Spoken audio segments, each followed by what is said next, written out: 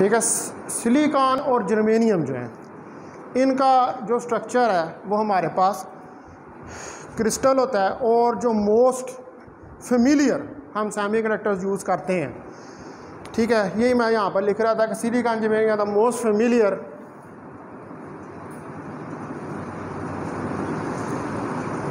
semiconductors used in electronic devices. ठीक है? जो इलेक्ट्रॉनिक डिवाइसेस हैं, उनके अंदर हम ये सिलिकॉन और जर्मेनियम जो है उनको यूज़ कर, ये प्योर फार्म के अंदर होते हैं। यानी कि जो इंट्रेंसिक फार्म के अंदर आपके पास सेमी कंडक्टर या प्योर फार्म के अंदर आपके पास जो सेमी कंडक्टर्स हैं, वो सिलिकॉन और जर्मीनियम तो जितनी भी आप इलेक्ट्रिक इलेक्ट्रॉनिक डिवाइसेस बनाते हैं। जैसे मैंने आपको बताया था कि ट्रांजिस्टर है। ठीक है या हमारे पास डायोड्स हैं या हमारे पास रेक्टिफायर्स हैं या हमारे पास एम्पलीफायर्स हैं। इन सब के अंदर जो सेमी कंडक्टर मटीरियल्स हैं, वो यूज़ होते हैं। ठीक है अच्छा अब जर्मेनियम जो है, ये क्या है? ये एक मेटालिक मटेरियल है। यानी कि एक मेटल है ये। ठीक है germanium is a metal crystal germanium जो है, ये एक मेटल क्रिस्टल है। मेटल है। तो आपको पता है कि जो मेटल्स होती हैं, उनके अंदर फ्री इलेक्ट्रॉन्स जो होते हैं, वो हमें ज़्यादा मकदार में अवेलेबल होते हैं। ठीक है? तो जर्मेनियम भी एक मेटल क्रिस्टल है और इसी तरह। जो हमारे पास सिलिकॉन है, वो एक नॉन मेटल क्रिस्टल ठीक है? While silicon is a non metal crystal हैं, दोनों ही सेमी कंडक्टर्स हैं। स्ट्रक्चर भी इनका क्रिस्टलन है। दोनों सेमी कंडक्टर्स हैं और स्ट्रक्चर भी इनका क्रिस्टलन है। लेकिन एक मेटल है और एक नॉन मेटल जो मेटल होती है, उसके अंदर ज़्यादा नंबर ऑफ़ फ्री इलेक्ट्रॉन्स होते हैं as compare to non metal non metal के मुकाबले। अच्छा अब दोनों जो हैं, ये जो हमारे पास केमिकल ग्रुप है फोर्थ। पीरियाडिक टेबल के जो अंदर फोर्थ ग्रुप है ना, ये उससे बिलोंग करते हैं। ठीक है? Silicon and germanium belong to fourth group of periodic table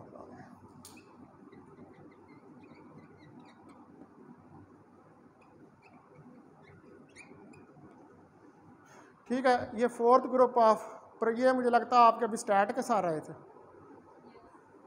ठीक है? अब तो मैं पढ़ाऊँगा अब। ठीक है, अब कल से इनके साथ तय कर लेना कि इन लोगों ने पढ़ाना है कि नहीं पढ़ाना। ठीक है?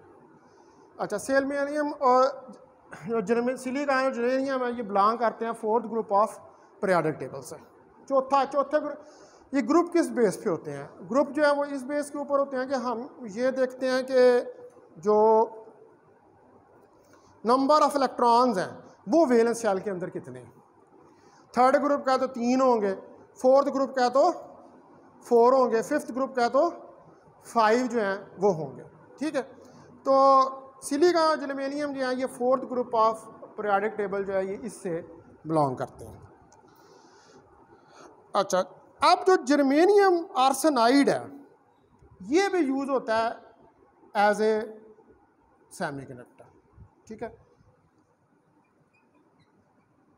germanium arsenide is also used as a semiconductor. इसको भी हम सेमी कंडक्टर के तौर पर यूज़ जो है वो करते हैं। जर्मेनियम के अंदर बत्तीस इलेक्ट्रॉन्स होते हैं और सिलिकॉन के अंदर चौदह इलेक्ट्रॉन होते हैं। Number of electrons in germanium 32 number of electrons in silicon 40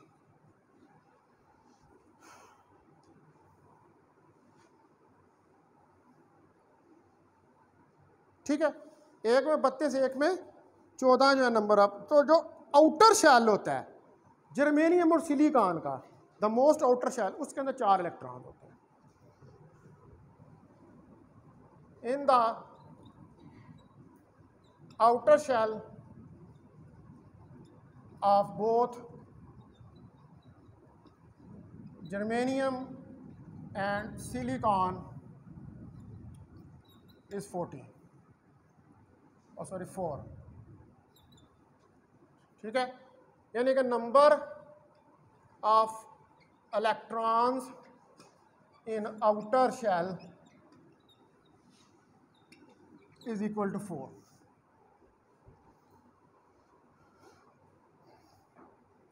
ठीक है तो जो नंबर ऑफ़ इलेक्ट्रॉन्स हैं आउटर शेल में, वो कितने होंगे? चार। Fourth group of periodic table से है ना? तो ये वन टू थ्री फोर इसी बुनियाद के ऊपर इनको क्लासीफाई किया जाता है with the help of Moseley law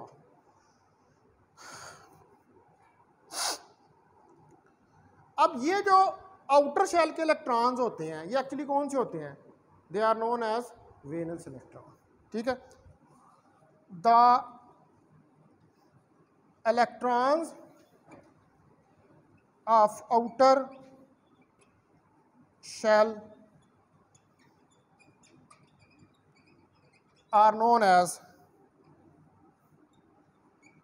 valence electrons तो जो आउटर शेल के इलेक्ट्रॉन्स होते हैं, उनको हम वेलेंस इलेक्ट्रॉन्स का नाम जो है वो लेते हैं। ठीक है? सबसे बाहर वाला, यानी कि आप ये बनाते हैं ना ऐसे। तो ये जो सबसे आउटर होगा ना, इसके अंदर जो ये इलेक्ट्रॉन्स हैं ना, ये क्या है? ये वेलेंस इलेक्ट्रॉन्स अब जर्मेनियम और सिलिकॉन एटम्स जो हैं, ये टेट्रावेलेंट हैं। टेट्रावेलेंट का मतलब ये होता है कि इनके आउटर शेल के अंदर चार इलेक्ट्रॉन्स हैं। ठीक है? Germanium and silicon are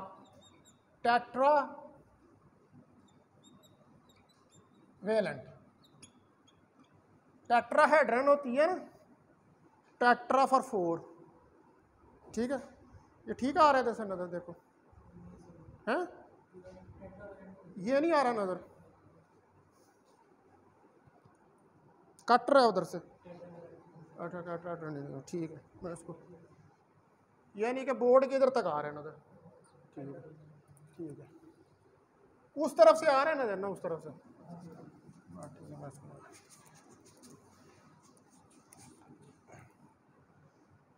अच्छा germanium and silicon are tetrahedron. ठीक है जर्मेनियम से टेट्रा टेट्रा का मतलब है फोर चार, इसके आउटर शेल में चार होते हैं। तो इसलिए इसको हम टेट्रा सॉरी हेड्रन लिख दिया इसको टेट्रा वेलेंट कहते हैं।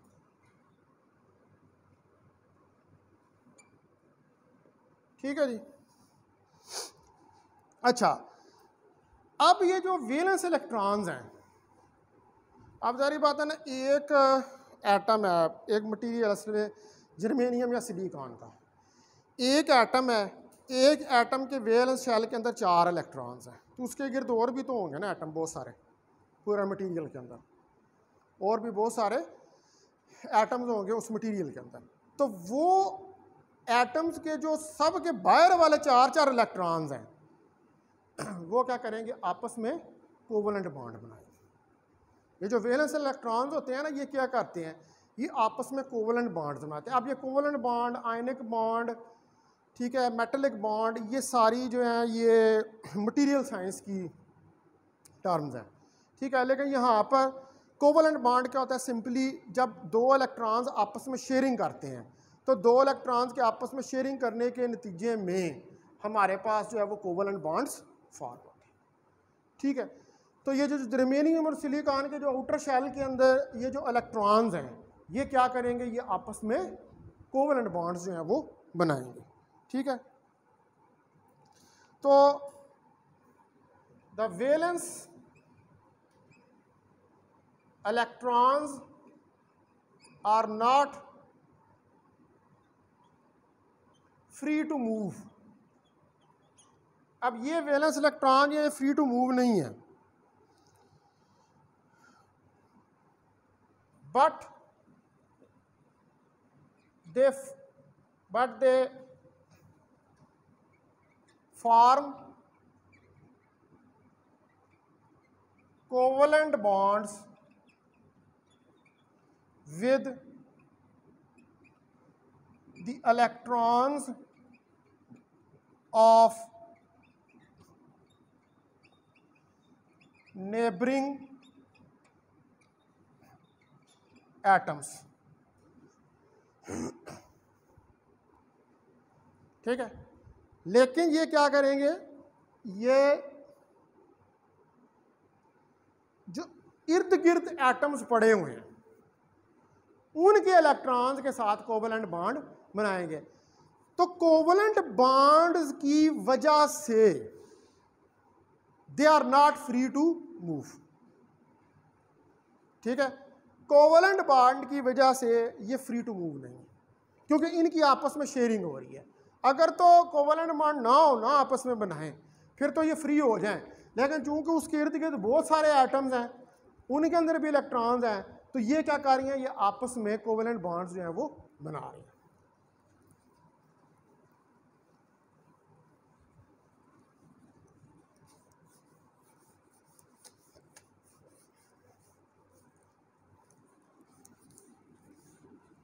तो इसका मतलब है कि जब ये आपस में कोवलेंट बॉन्ड्स बना देंगे तो हर एटम के वेलेंस शेल के अंदर टोटल नंबर ऑफ़ कितने इलेक्ट्रॉन्स होंगे? सारे आपस में शेयरिंग कर रहे हैं। पेयर मान रहे हैं ना? तो टोटल जो वेलेंस शेल के अंदर हमारे पास हो जाएँगे आठ इलेक्ट्रॉन्स ठीक है? जब सारे ही आपस में कोवलेंट बाड बनाएँगे, दो दो दो दो तो टोटल कितने हो गए? आठ। चार है ना तो सारे आपस में बना रहे हैं तो टोटल हमारे पास आठ जो हैं वो इलेक्ट्रॉन जो हैं वेलेंस शेल में हो जाए अच्छा अब मैं ज़रा यहाँ पर इसकी फिगर बनाता हूँ। आप देखें कि ये जर्मेनियम है। ठीक है? यहाँ पर ये दो इलेक्ट्रॉन ये फिर इधर जर्मेनियम का एटम एक इलेक्ट्रॉन इधर, एक इलेक्ट्रॉन इधर, एक इलेक्ट्रॉन इधर। ठीक है, इसी तरह इधर आपके पास एक इलेक्ट्रॉन, ये एक इलेक्ट्रॉन, ये ये germanium.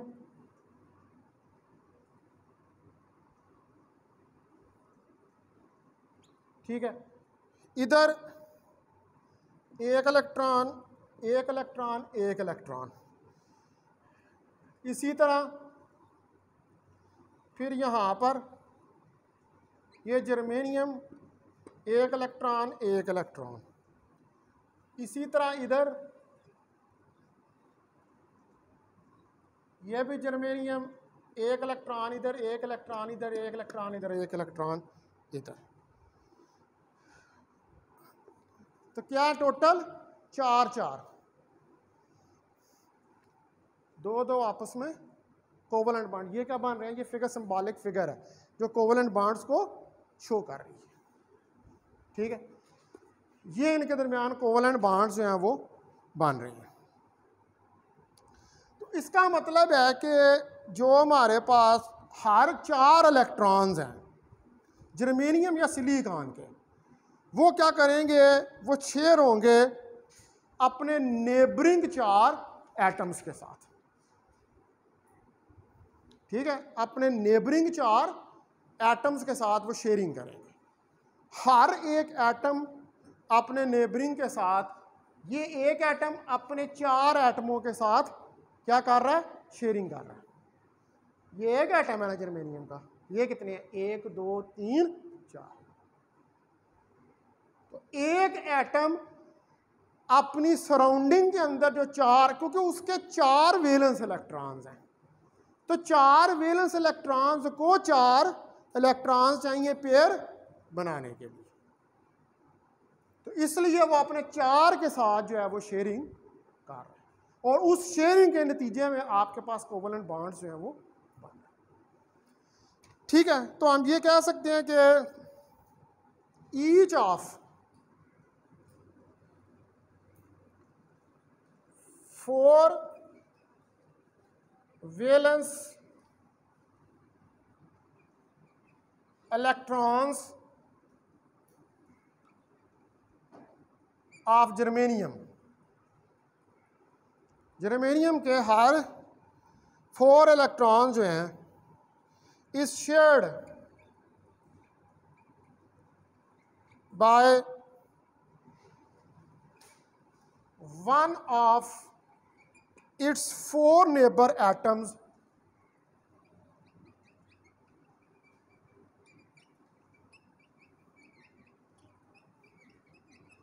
to form covalent bonds.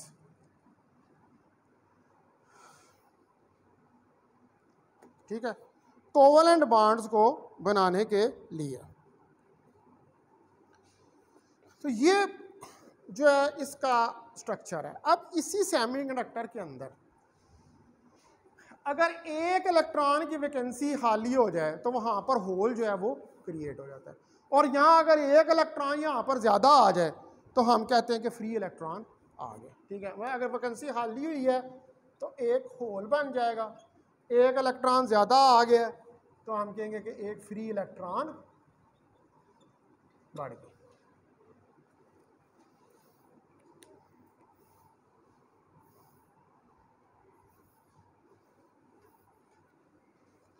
अब इस केस के अंदर जो कंडीशन हमने डिस्क्राइब किया भी ये जो पूरा हमने, ये सेमी करेक्टर जो डिस्कस किया है, ये एग्जिस्ट करता है ज़ीरो डिग्री कैलवन के ऊपर। सारी जो डिस्कशन की है ना हमने, ये हम किस पे डिस्कस कर रहे हैं? ज़ीरो डिग्री कैलवन के ऊपर। And what is zero degree kelvin zero degree kelvin is the absolute zero जो हम ये कहते हैं कि हमें अभी तक अचीव नहीं हुआ। यानी कि आइडियल कंडीशन के तहत हम इसको स्टडी कर रहे हैं। ठीक है? The condition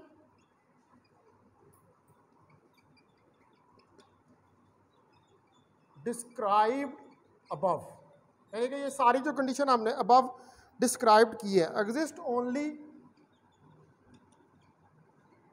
at T is equal to zero degree kelvin ठीक है? तो ये किस वक्त एग्जिस्ट कर रही है? सिर्फ़ ज़ीरो डिग्री कैलवन के ऊपर, यानी कि एप्सुलूट ज़ीरो के ऊपर। तो इसका मतलब यह है कि अगर आप इसको, इसकी यहाँ पर, इस कंडीशन को चेंज करेंगे तो कंडीशन के चेंज होने से फिर यहाँ पर फ़र्क आएगा। ये सारा स्ट्रक्चर जो सेमी कंडक्टर का है, जो हमने अभी स्टडी किया है इंट्रेंसिक सेमी कंडक्टर का, ये हमने किसके ऊपर स्टडी किया है? इसको हमने ज़ीरो डिग्री कैलवन के ऊपर स्टडी किया। ठीक है जी? ठीक है? तो इसका मतलब ये है कि जो इंट्रेंसिक सेमी कंडक्टर्स हैं they exist at zero degree kelvin temperature यही बात यहाँ से समझ आ रही है ये कौन सा हम सेमी कंडक्टर स्टडी कर रहे हैं? इंट्रेंसिक तो इसका मतलब है कि इंट्रेंसिक सेमी कंडक्टर्स जो हैं,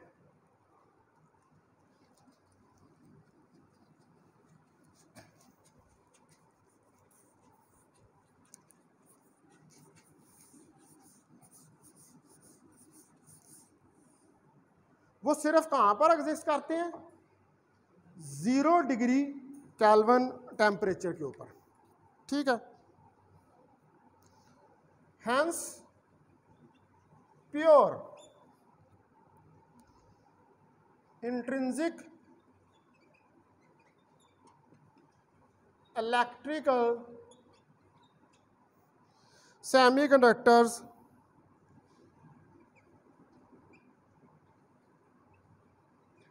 exist on T is equal to 0 degree Kelvin.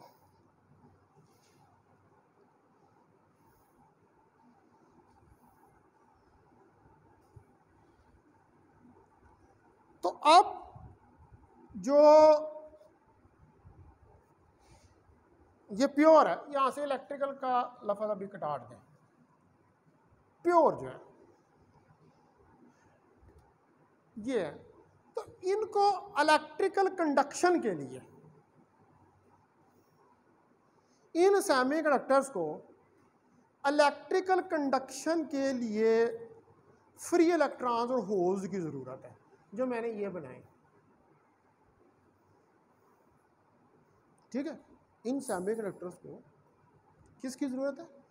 Free electrons और होल्स की ज़रूरत भाई कंडक्शन फ्री इलेक्ट्रॉन्स की वजह से होती है या होल्स की वजह से होती है। तो अभी इस फॉर्म के अंदर, जब ये ज़ीरो डिग्री कैलवन के ऊपर हैं तो इस फॉर्म में तो इनके अंदर फ्री इलेक्ट्रॉन्स अवेलेबल नहीं है। क्योंकि वो तो एक दूसरे के साथ जुड़े हुए हैं। किसकी वजह से? कोवल एंड बॉन्ड की वजह से। तो फिर इसका मतलब है कि हमें अगर चाहिए फ्री इलेक्ट्रॉन्स या होल्स तो हमें इन बांड्स को ब्रेक करना पड़ेगा। तो अगर बांड्स को ब्रेक करना है तो फिर टेम्परेचर इनक्रीज करना पड़ेगा और रूम टेम्परेचर के ऊपर जाना पड़ेगा। रूम टेम्परेचर के ऊपर जाएँगे तो ये बॉन्ड्स ब्रेक होंगे। और जब ये बॉन्ड्स ब्रेक होंगे तो फिर आपके पास फ्री इलेक्ट्रॉन या होल्स आएँगे। बात समझा रही ये कहाँ पर स्टडी कर रहे थे आप? Zero D intrinsic pure pure की बात हो इंट्रिंसिक ज़ीरो डिग्री कैलवन लेकिन ज़ीरो डिग्री कैलवन से टेम्परेचर बढ़ा तो फिर वो इलेक्ट्रिकल सेमीकंडक्टर बन जाएगा। ठीक है? मैंने शायद पीछे भी बताया था कि ज़ीरो डिग्री कैलवन के ऊपर कंडक्शन नहीं करता। सेमी कंडक्टर बिहेव करता है एज ए इंसुलेटर लेकिन जब आप टेम्परेचर बढ़ाते हैं तो फिर वो क्या बन जाता है? कंडक्टर बन जाता है। ठीक है? तो इसका मतलब है कि however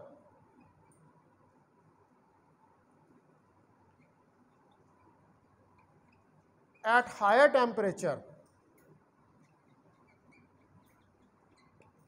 mean at room temperature higher temperature या रूम टेम्परेचर के ऊपर some of covalent bonds are broken some of covalent bonds are broken and hence free electrons and holes are available for electric conduction.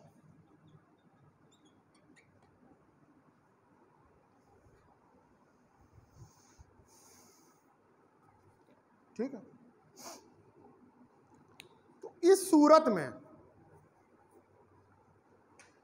कि जब temperature increase होगा covalent bonds break होंगे। Agitation बढ़ जाएगी ना। बहुत ज़्यादा क्लूजन शुरू हो जाएँगे टेम्परेचर बढ़ेगा।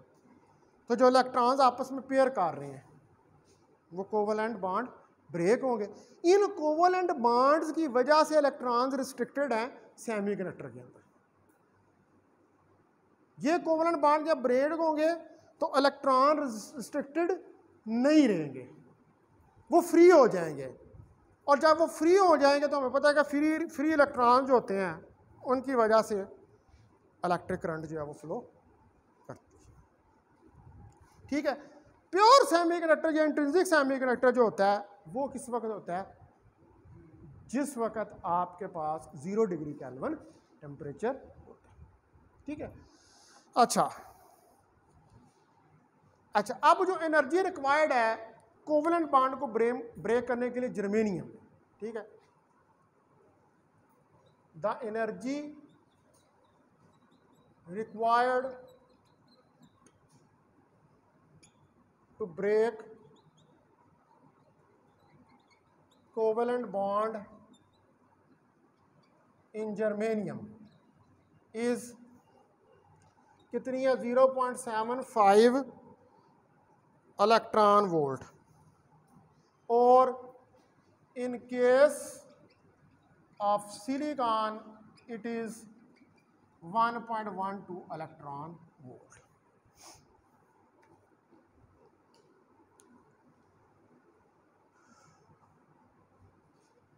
ठीक है जी? Zero point five seven five electron volt germanium में। और one point one two electron volt in silicon यानी कि सिलिकॉन में ज़्यादा चाहिए। और सिलिकॉन नॉन मेटल है। जर्मेनियम जो है वो मेटल है। तो चूँकि जर्मेनियम मेटल है तो मेटल के अंदर फ्री इलेक्ट्रॉन हासिल करना ज़्यादा आसान होता है। As compare to non metal ठीक है? अच्छा। तो जो रिमूवल होता है इलेक्ट्रॉन का कोवलेंट बॉन्ड में से जब एक इलेक्ट्रॉन कोवलेंट बॉन्ड में, में से रिमूव होता है तो वहाँ पर वैकेंसी ऑफ़ इलेक्ट्रॉन जो है वो क्रिएट हो जाती है। और उस वैकेंसी ऑफ़ इलेक्ट्रॉन को हम क्या कहते हैं? होल ठीक है?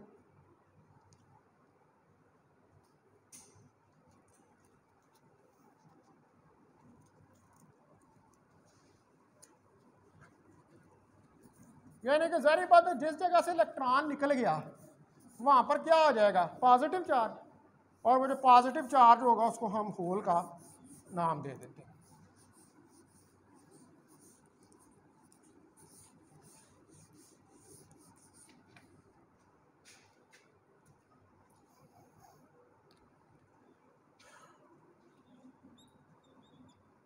The removal of electron.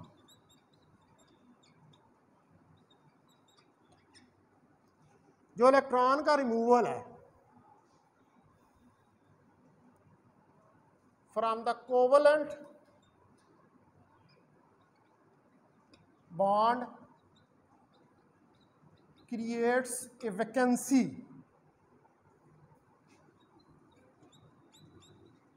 vacancy of electron वो क्या करता है? इलेक्ट्रॉन की एक वैकेंसी क्रिएट कर देता है। Which is known as a hole. इसको हम होल का नाम देते हैं। तो होल्स को हम सर्कल से रिप्रेजेंट करते हैं, जब हम फिगर के ऊपर ड्रा करते हैं। और होल जो है, हम कहते हैं कि इनके ऊपर पॉजिटिव चार्ज होता है। The holes are represented by a circle and they have positive charge which is equal to the negative charge of an free electron.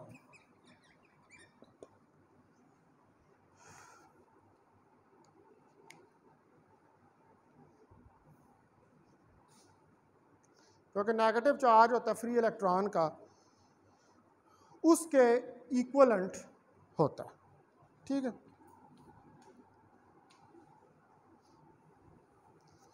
तो होल्स और इलेक्ट्रॉन्स। फ्री इलेक्ट्रॉन को तो का तो आपको पता है कि it serves for electricity similarly holes are also responsible for electricity ठीक है तो होल जो हैं।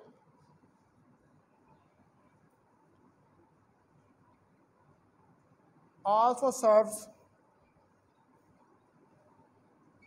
फॉर इलेक्ट्रिसिटी तो होल्स भी जो हैं, वो इलेक्ट्रिसिटी के लिए सर्व करते हैं।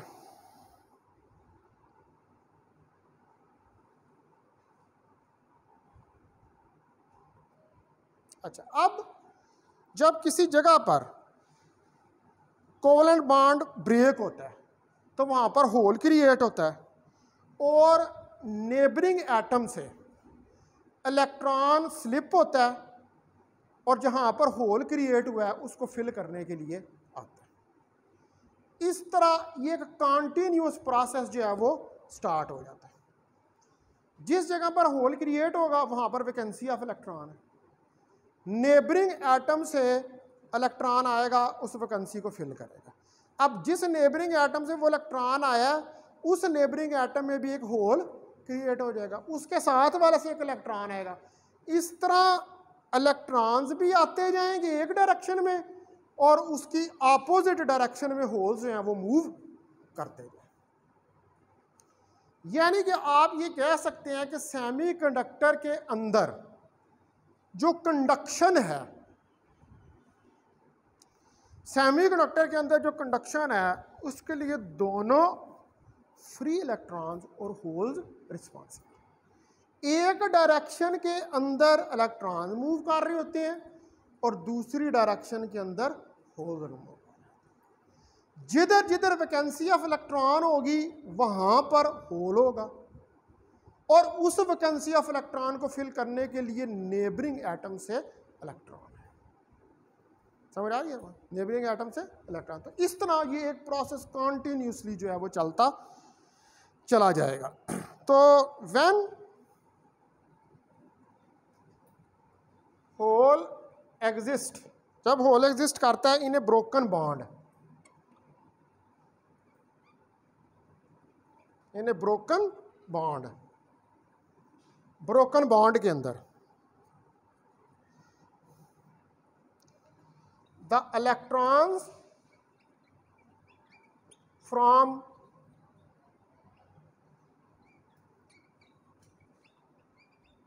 neighboring atom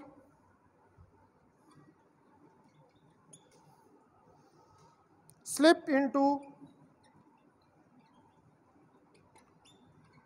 that hole leaving a hole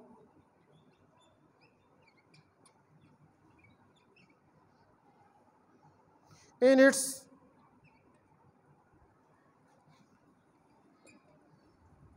initial position.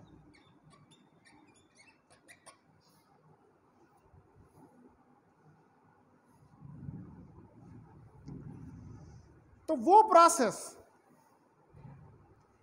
कि जिसके अंदर एक इलेक्ट्रॉन एक होल को फिल करता है, उस प्रोसेस को हम रिकम्बिनेशन कहते हैं वो प्रोसेस कि जिसमें एक इलेक्ट्रॉन एक होल को फिल करता है, उस प्रोसेस को हम रिकम्बिनेशन का नाम देते हैं। The process in which a hole in which a electron fills the hole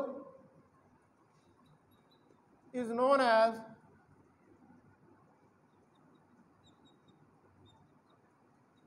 recombination nation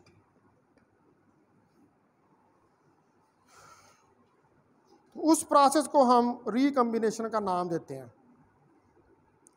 और ये प्रोसेस जो होता है रिकम्बिनेशन का ये कॉन्टिन्यूसली अकर करता है। This process of recombination occurs continuously.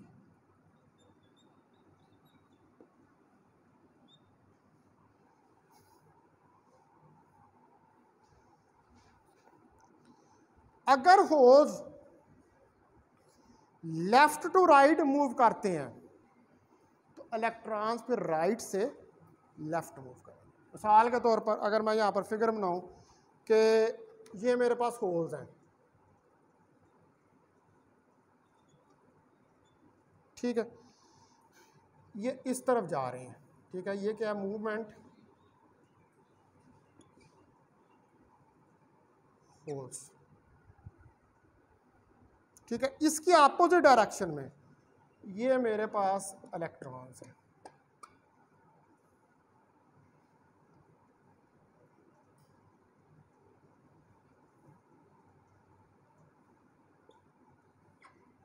ये इसके अपोजिट डायरेक्शन में जा रहे हैं। तो होल जो हैं, वो मूव कर रहे हैं लेफ़्ट से राइट और इलेक्ट्रॉन मूव कर रहे हैं राइट टू लेफ़्ट ठीक है?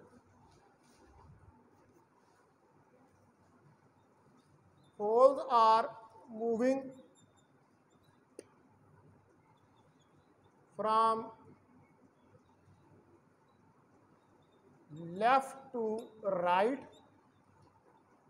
and electrons from right to left.